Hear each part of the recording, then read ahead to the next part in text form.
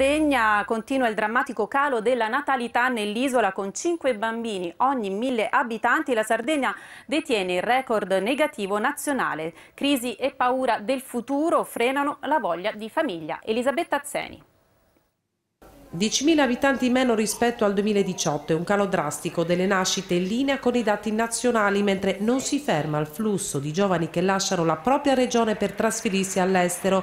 Per l'Istat è il record negativo di sempre dagli ultimi 150 anni e il primato nazionale lo detiene la Sardegna confermando un trend ormai consolidato questa riduzione è sempre più importante e io lo interpreterei come un grido d'allarme per chi eh, prende le decisioni per attivarsi eh, a supporto delle famiglie e quindi dare un'iniezione di fiducia a chi decide di eh, mettere al mondo un figlio o eventualmente di allargare la famiglia. Sulle ragioni di questo decremento demografico, attorno al quale gli esperti non smettono di interrogarsi, l'ACLIP lancia l'allarme e chiede l'intervento della politica regionale si deve costruire un progetto coinvolgendo tutti gli attori sociali, quindi penso non soltanto alla classe politica che eh, deve in qualche modo pensare a un provvedimento urgente, ma anche eh, il mondo imprenditoriale del terzo settore, quindi tutti i soggetti insieme possono pensare a un programma a medio e lungo termine, solo così si può invertire la rotta.